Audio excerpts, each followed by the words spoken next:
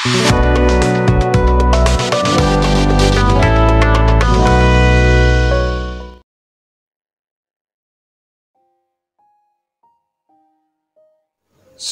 selamat pagi Bapak Ibu, saudara-saudari yang dikasihi oleh Tuhan.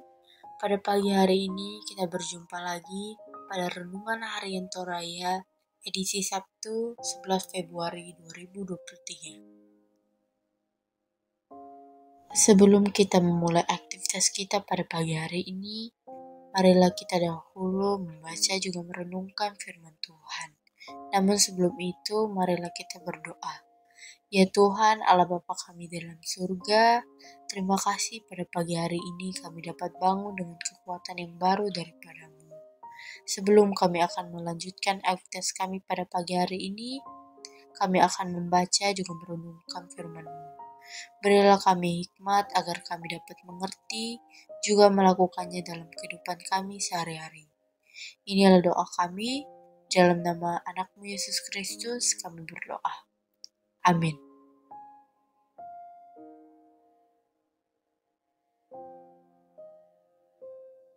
Pembacaan kita pada pagi hari ini terambil pada kitab Yakobus pasal yang pertama, ayat yang ke-12 hingga ayat yang ke-18. Di bawah judul Pengujian dan Pencobaan. Berbahagialah orang yang bertahan dalam pencobaan, sebab apabila ia sudah tahan uji, ia akan menerima mahkota kehidupan yang dijanjikan Allah kepada barang siapa yang mengasihi dia. Apabila seorang dicobai, janganlah ia berkata, pencobaan ini datang dari Allah, sebab Allah tidak dapat dicobai oleh yang jahat, dan ia sendiri tidak mencobai siapa pun.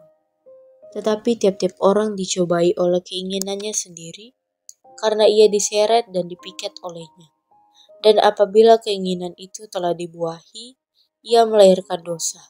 Dan apabila dosa itu sudah matang, ia melahirkan maut. Saudara-saudara yang kukasihi, janganlah sesat. Setiap pemberian yang baik dan setiap anugerah yang sempurna datangnya dari atas, diturunkan dari Bapa segala terang. Padanya tidak ada perubahan atau bayangan karena pertukaran. Atas kehendaknya sendiri, ia telah menjadikan kita oleh firman kebenaran supaya kita pada tingkat yang tertentu menjadi anak sulung di antara semua ciptaan. Amin.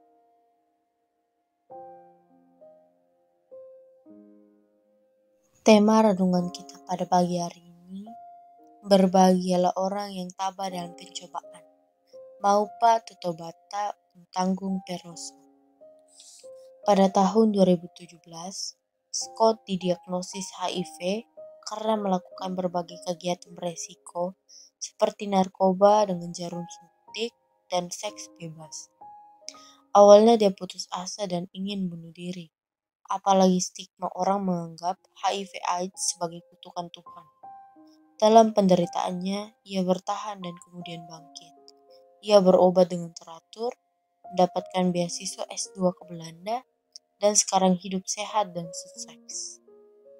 Setiap orang pasti pernah mengalami kesusahan, ujian, dan pencobaan. Kata berbahagia dalam ayat 12 sama dengan diberkatilah. Berkat diucapkan kepada mereka yang bertahan dalam cobaan dan ujian. Berkat bisa saja muncul dari penderitaan dan kita bisa diberkati di dalamnya. Penderitaan sama sekali tidak merampas kebahagiaan orang baik. Segala pencobaan yang dialami seseorang tidak datang dari Tuhan, melainkan datang dari keinginannya sendiri. Apabila seorang dicobai, janganlah ia berkata, "Pencobaan ini datang dari Allah," sebab Allah tidak dapat dicobai oleh yang jahat, dan Ia sendiri tidak mencobai siapa pun.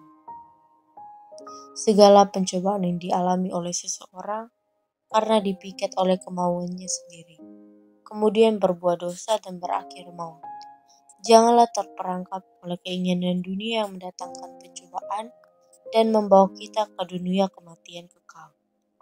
Berbahagialah orang yang percaya bahwa segala pencobaan tidak datang dari Allah, karena Allah Maha Baik dan Pemurah telah menganugerahkan keselamatan dan kehidupan kekal. Berbahagialah orang yang bertahan dalam pencobaan, sebab apabila ia sudah tahan uji, ia akan menerima mahkota kehidupan yang dijanjikan Allah. Amin firman Tuhan.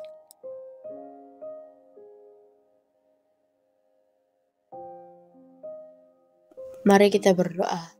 Ya Tuhan, Allah Bapa kami di dalam surga, pada pagi hari ini kami telah membaca juga merenungkan firman-Mu.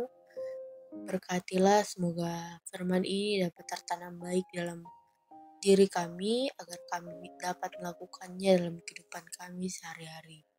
Sebentar kami akan melanjutkan aktivitas kami pada hari ini. Tolong kami agar kami dapat melakukannya dengan baik, sesuai dan seturut kehendak-Mu.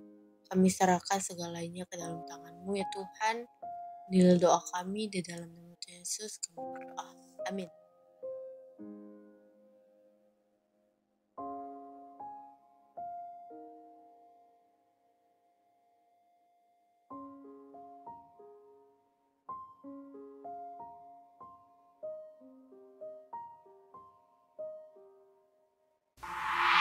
Thank